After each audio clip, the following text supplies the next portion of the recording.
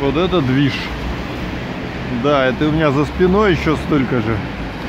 И в парке наверху, в засаде, минута отсюда пешком тоже два водомета, машин множество. Дикие времена. Вон там далеко, вдали видно тоже машины. Да уж.